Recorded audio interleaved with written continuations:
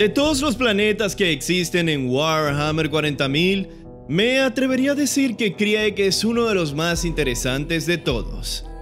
Acá en el canal sabemos que Krieg es un mundo tóxico, un mundo radioactivo y muerto, hogar de los Corps de la muerte de Krieg, un regimiento fatalista y siniestro que rinde culto a la muerte de manera directa e indirecta.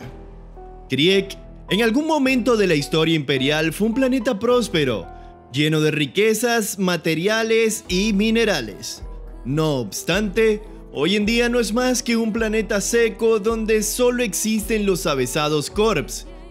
Y eso, Krieg solo tiene para ofrecer al imperio a sus soldados. Sea como sea, este video será el primero de una saga sobre los Corps, luego de que estos ganaran en la votación que hicimos en el canal.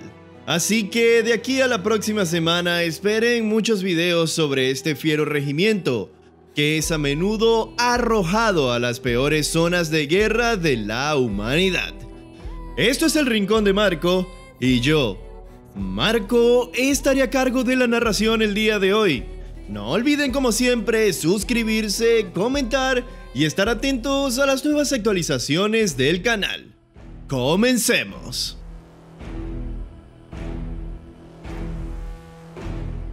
Mucha de la historia de lo que alguna vez fue el planeta Krieg, ubicado en el Segmentum Tempestus, está ciertamente oculta en una niebla de alegorías y mitos oscuros. Su horrorosa historia de rebelión y traición ha sido censurada y perdida en la bruma del tiempo. Este próspero mundo fue el centro del comercio y la manufactura que fue poblado por incontables billones. Sin embargo, Krieg actualmente no es más que un desierto radioactivo y salvaje, repleto de ciudades en ruinas cuyos rascacielos son asfixiados por una niebla ponzoñosa y malsana. Todo esto fue gracias al consejo de los autócratas, cuyos corazones se llenaban de odio con el pasar del tiempo. Con el tiempo, esta oligarquía se fue haciendo cada vez más insular y perversa, y su paranoia sobre un peligro exterior que podría desestabilizar su dictadura se fue haciendo más evidente, por lo que gastaron una cantidad de recursos gigantesca en construir fuertes y defensas para sus ciudades colmenas, llegando incluso al punto de crear ejércitos privados para blindar con un anillo de hierro todo el mundo. Gracias a la ingente cantidad de recursos utilizados en la fortificación de este planeta, un sentimiento de recelo fue creciendo en los corazones de los leales al imperio, además de que el equilibrio económico de Krieg se rompió causando hambre en algunos sectores del planeta. Por otro lado, y para poner la cerecita sobre el pastel, el resentimiento y la desconfianza fue creciendo en la mente de los autócratas, que comenzaron a ver a los agentes del imperio con malos ojos, en especial al departamento Monitorum. Sin embargo, un grueso de la población aún estaba sumida tristemente en la ignorancia, y cuando la espiral de eventos que los llevaría a la ruina se gestó por completo, ya era demasiado tarde. En el año 433 del milenio 40, el final vino a Krieg de manos de los autócratas y del gobernador de facto, un hombre tan odiado que fue purgado de todos los registros imperiales. Este perverso político declaró ley marcial, junto con la terrible noticia de que Krieg ahora sería independiente del imperio de la humanidad. Inmediatamente después de haber renunciado a la luz del emperador, el planeta se sumió en una sangrienta guerra civil entre aquellos herejes que apoyaban a los autócratas y los ciudadanos imperiales leales al imperio de la humanidad. Después del ataque inicial, gran parte de Krieg cayó en manos de los traidores, a excepción de Ferrograd, una ciudad colmena bajo el mando del coronel Jurten, del 83 de Krieg. Y aquí me gustaría hacer una pausa y decirles que por favor recuerden este nombre, Coronel Yurten. Yurten, en respuesta a la revuelta, se había trincherado en toda la colmena Ferrograd, de la cual hizo un punto de reunión para las fuerzas restantes leales de Krieg. Cierto es que la situación para los leales era precaria, pues las fuerzas rebeldes lo superaban por millones, y pronto la colmena fue alcanzada y asediada.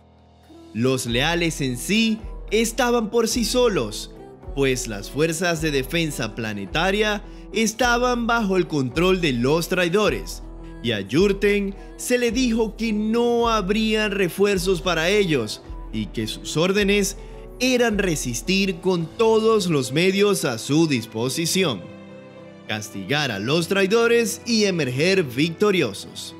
Por lo que el coronel llegó a la conclusión de que si Krieg no le pertenecía al imperio, entonces no iba a ser de nadie. Para el día de la ascensión del emperador, Yurten lanzó su gran contraataque que consistía en utilizar armamento atómico para limpiar el planeta de la mancha de los herejes. Los traidores aquel día vieron como sus radares chillaban, pero sin mucho que hacer realmente. Este traumante periodo sería conocido como la purga de Yurten, y aunque el planeta fue convertido en un yermo radiactivo e inmisericorde, esta estrategia había dado a Yurten la ventaja que necesitaba, pues los traidores habían sufrido bajas inimaginables. Independientemente de todo, la guerra continuó en Krieg. Los sobrevivientes de Yurten fueron forzados a vivir debajo, en los refugios nucleares, mientras que para el imperio, Krieg no era ni siquiera un premio para el que valía la pena enviar fuerzas para reconquistar. Krieg entonces se convirtió en un planeta muerto gracias a la propia humanidad. La guerra civil continuó por todo el planeta bajo un perenne invierno nuclear, y la sangrienta guerra de desgaste continuó rugiendo entre los supervivientes traidores y las tropas leales. Y en cada rincón del planeta, en cada metro de tierra, en cada centímetro, se cavaron profundas trincheras y éstas se protegieron con alambre, mientras el terreno se llenaba de cráteres gracias a las eternas explosiones de artillería. Se sabe que Yurten finalmente murió, aunque no se sabe a ciencia cierta cómo, pero sus descendientes continuaron lo que él comenzó y se volvieron cada vez más siniestros e impávidos. Y después de 500 años de guerra, los leales emergieron victoriosos y en el año 949 del milenio 40 regresaron a la luz imperial. Y aunque el planeta regresó a la luz, el departamento Monitorum tomó nota. Krieg estaba atrasado, por lo que un diezmo de nuevos regimientos serían necesarios. Lo que se recuerda de eso es que Krieg ofreció no uno, sino 21 regimientos listos para ser desplegados en las peores zonas de guerra. Y mejor aún, algo básico y esencial había cambiado en la mentalidad de los habitantes de Krieg, que rendían culto a la muerte, no tenían miedo y daban sus vidas sin dudar por el imperio de la humanidad y por el emperador. Actualmente del planeta no se sabe mucho, más que aportan 10 regimientos de corps de la muerte de Krieg cada vez que deben pagar el diezmo. Se sabe que la atmósfera del planeta está totalmente viciada y la vida es imposible, por lo que sus habitantes viven debajo de la tierra en búnkeres. Y así termina este video sobre el planeta Krieg. Esperando a que haya sido del agrado de todos ustedes, por favor déjenme en la caja de comentarios si les gustaría vivir en un planeta como este, o qué se sentiría vivir en un lugar así. Recuerden como siempre que esto fue el Rincón de Marco y nos vemos en la próxima ocasión. ¡Chao!